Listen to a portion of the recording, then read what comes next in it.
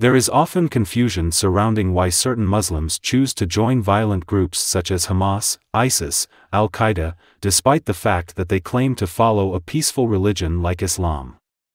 It is important to address this misconception by examining the teachings of Prophet Muhammad towards non Muslims, especially the Jews, in Medina. By doing so, we can shed light on the violent teachings within Islam and encourage people to reject them.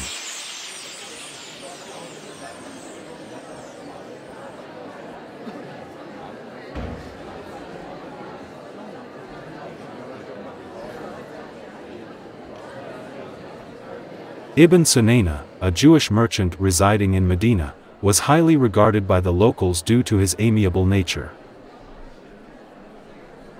Good morning. What can I do for you? Good morning to you too. Can we buy some breads? Sure. I have plenty of them. Ibn Sunayna had established a harmonious relationship with the Arab community.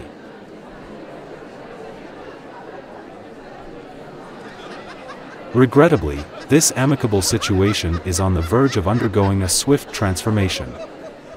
Prophet Muhammad harbored animosity towards the Jews due to their refusal to acknowledge his prophethood and their audacity to openly deny his legitimacy as a true prophet. This resentment was evident when he urged his followers during a Friday prayer to fulfill his malevolent intentions. Whoever of the Jews falls into your hands, kill him. This order came after the successful murder of a Jew named Ka'b bin al-Ashraf ordered by Prophet Muhammad, after which he gained enormous self-confidence because the Jews didn't retaliate. The failure to retaliate apparently became an encouragement for more violence. Let's read the history of Tabari, Volume 7, page 97, on how the Muslims felt about the killing and the reaction of the Jews. The next morning, the Jews were in a state of fear on account of our attack upon the enemy of God, which is Ka'b bin al-Ashraf, and there was not a Jew there but feared for his life. This explains that the Muslims were very proud with their violent actions that caused all Jews in Medina to feel very scared. But this extreme stage of fear didn't satisfy Prophet Muhammad. He upscaled his torment toward the Jews.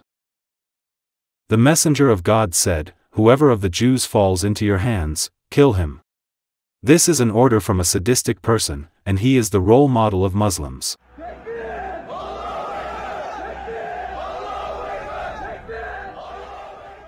This is Muhaisa bin Masud. He is a very devout Muslim, who will do anything that Prophet Muhammad asked him to do. He left the mosque after the prayer. I have to please Allah by obeying the Prophet's order to kill the Jews.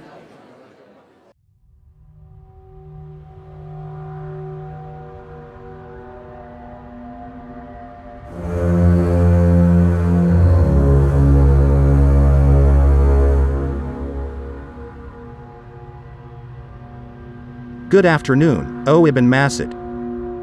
Oh, good afternoon to you too, O Ibn Sunayna. How is your business today? Oh, thank you for asking. It's very good. Die, you infidel. May Allah please with your blood, you filthy kafir. I better run away now.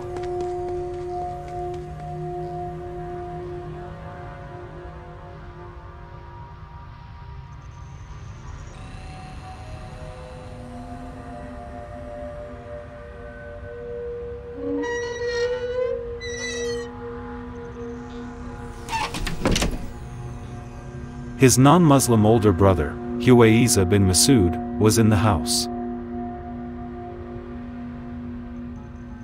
What happened with you? Why do you look so scared?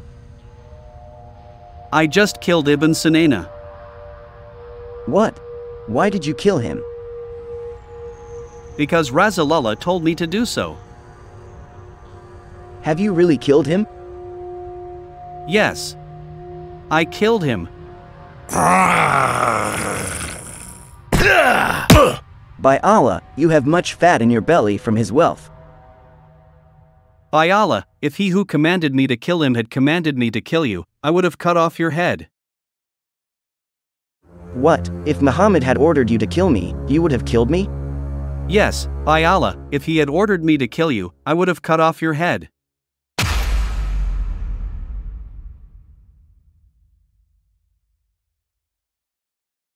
By Allah, a faith which has brought you this is indeed a marvel.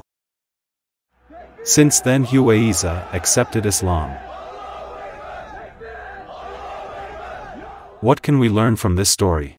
The story teaches us that Muhaisa blindly followed Prophet Muhammad's orders, even if they were considered evil, believing them to be Allah's command.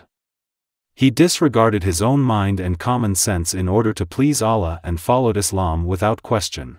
Initially, Muhayyisa's brother Huwayza was angry at the murder committed by Muhayyisa against Ibn Sunayna. However, his anger stemmed not from having a high character, but from losing the benefits of a kind-hearted Jewish trader. Huwayza is actually someone who enjoys violence and craves power. When he saw the power and influence that came with absolute compliance to Muhammad, he immediately converted to Islam. This pattern is also seen in the formation of Hamas and other terrorist groups. Those who have a love for violence and a thirst for power are easily drawn to join these violent groups, as they adhere to brutal Islamic teachings. On the other hand, those who value peace and possess common sense firmly reject it.